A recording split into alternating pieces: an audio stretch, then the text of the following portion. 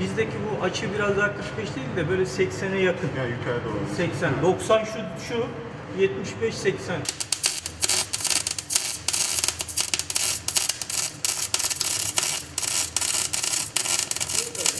Ve dar bir çevrede meydana getiriyor. Dolayısıyla kaynak çekilen parçada deforme çok az oluyor.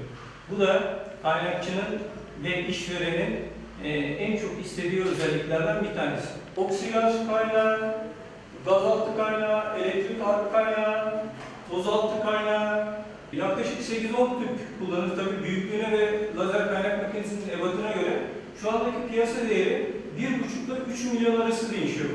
Bu kesimin dışında son zamanlarda bir de lazer kaynağı çıkıyor. Yani herkes gazaltı kaynağını biliyor, lazer kaynağını bilmez.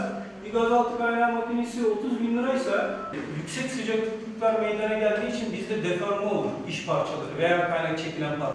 Mesela biraz önce e, kaynakçının giydiği iş elbiselerini saydık ama mesela toz boyatıyorsa ne, yapacak? Maske kullanacak değil mi? Yağlı güzel arkadaşınız ne yapacak? değiştirecek. Bakın şunlar kaynakçı eldivenleri.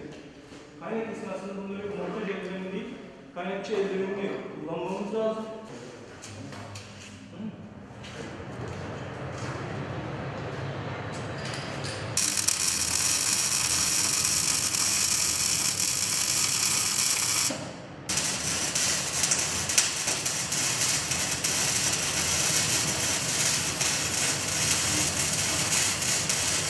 Sağdan sola doğru olan bir kaynak. Ee, bazen soldan sağa da çekilir. Zaten herkese birer parça vereceğiz. Ee, o zaman çekerseniz görürsünüz. Ankara öyle dediğim gibi iyi zaten değil mi? Sen nasıl yapmayacağız şu an burada? Şöyle yavaş yavaş geleceğiz. Ya da şöyle gideceğiz. Şöyle aşağı doğru çekerek gidiyor. Torcu basınca tel geliyor. Fark oluşuyor. Sen yaklaş. Ben sana gerekli yerde müdahale edeceksen başla. Biraz daha yaklaşık.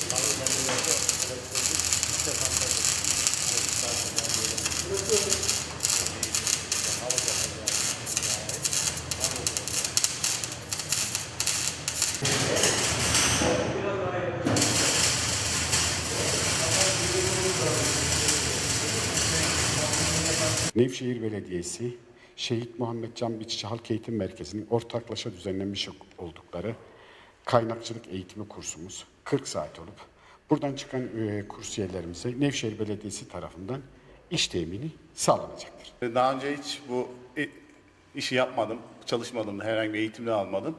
Buradaki amacım buradaki teknik işleri öğrenip güncel hayatta işime yarayacak işlerde kullanmak istiyorum tam olarak. Kendimi geliştirip ileride meslek hayatında da kullanmak istiyorum tam anlamıyla.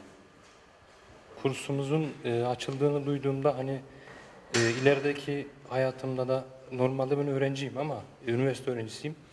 Hani e, tam benim alanım olmasa da her ne kadar işime yarayacağını düşünerekten e, katılmayı düşündüm. Pir Reis Üniversitesi İstanbul'dan e, denizcilik işletmeleri bölümündeyim.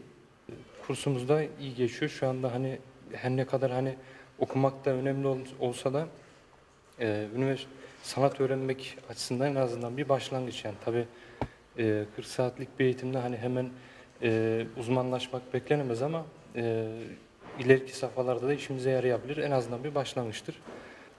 Yani öneri açısından e, hani bu tür şeyler kaçırmasınlar sonuçta bir fırsattır yani e, kurslar falan hani en azından bir başlangıç olur onlar için ileride de çalışırlarsa devam ettirebilirler.